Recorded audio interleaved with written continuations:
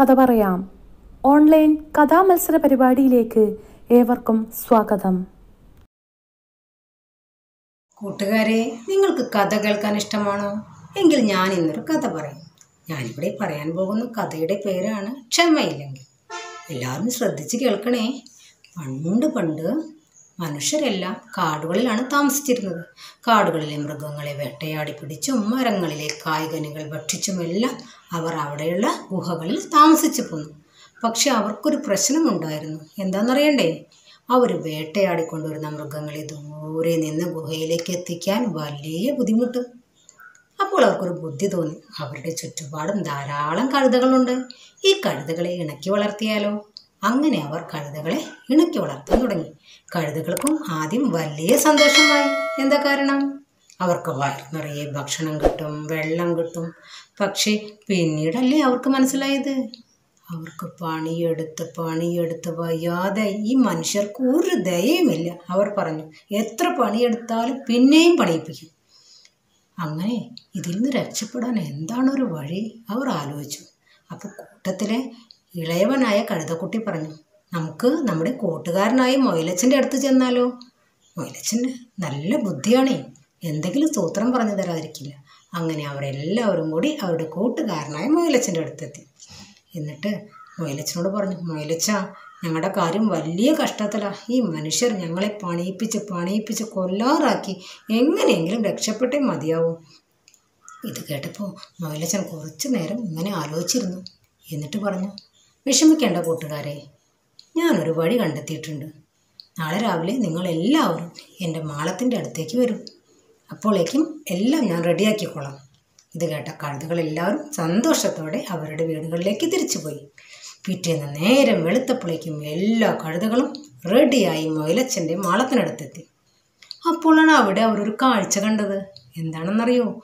കുറച്ച് വീപ്പകളിൽ ചായ നിറച്ചു വെച്ചിരിക്കുന്നു. അത് കണ്ട് അവർ മുയലച്ചനോട് ചോദിച്ചു മുയലച്ച മുയലച്ച എന്തിനാണ് ഈ ചായങ്ങൾ? അതൊക്കെയുണ്ട്. നിങ്ങൾ ഞാൻ പറയുന്നത് ശ്രദ്ധാപൂർവം കേൾക്കണം അനുസരിക്കണം പറ്റുമോ ഞങ്ങൾ എല്ലാവരും തയ്യാറാണ്. കഴുതുകളെല്ലാം ഒറ്റ സ്വരത്തിൽ പറഞ്ഞു. എന്നാൽ എല്ലാവരും വരിയായി നിൽക്കും. മുയലച്ചൻ അവരോട് പറഞ്ഞു ഇത് കേട്ടപ്പാടെ കഴുതകളെല്ലാം വരി വരിയായി നിന്നു. അപ്പോൾ നമ്മുടെ മുയലച്ചൻ എന്ത് ചെയ്തെന്നോ?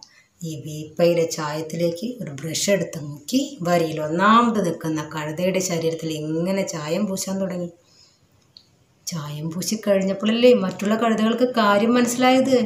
ഇത് ഇനി കഴുതയാണെന്ന് ആരും തിരിച്ചറിയില്ല. മനുഷ്യർ ഇത് രക്ഷപ്പെടാൻ മുയൽ കണ്ടെത്തിയ വഴിയാണത്. എല്ലാ കഴുതകൾക്കും സന്തോഷമായി അവർ പറഞ്ഞു മുയലച്ച നിന്നെ സമ്മതിച്ചു. നിന്റെ സൂത്രം കൊള്ളാം. നല്ല ബുദ്ധിമാനാണ് കേട്ടോ അങ്ങനെ നമ്മുടെ മൊയിലച്ചൻ രണ്ടാമത്തെ കഴുതയ്ക്കും ചായ മടിച്ചു പക്ഷേ അപ്പോഴേക്കും നമ്മുടെ കഴുതകളുടെ ക്ഷമയെല്ലാം നശിച്ചു കഴിഞ്ഞു. അവരെല്ലാവരും കൂടി തിക്കും തിരക്കം കൂട്ടാൻ തുടങ്ങി. എനിക്ക് വേണം ചായം. ഞാനല്ലേ ആദ്യം വന്നത്? എനിക്ക് വേണം എനിക്ക് വേണം. ഞാനല്ലേ നിന്റെ കൂട്ടുകാരൻ? ഇങ്ങനെ പറഞ്ഞ് അവിടെ ആകെ ബഹളമായപ്പോൾ മൊയിലച്ചൻ പറഞ്ഞു എല്ലാവരും സമാധാനപ്പെടും ഞാൻ എല്ലാവർക്കും ചായം തരില്ലേ? സമാധാനപ്പെട്ട് നിൽക്കാം പക്ഷെ കഴുതകൾക്കായില്ല അവർ വീണ്ടും തിക്കും തിരക്കായി ബഹളം കൂട്ടി വഴക്കായി എന്തിനു പറയുന്നു? അതിനിടയിൽ നമ്മുടെ ചായപാത്രം ഡിം ദാ വീണു. എല്ലാ ചായവും നിലത്ത് പരന്നൊഴുകിപ്പോയി ഇനി എന്ത് ചെയ്യും?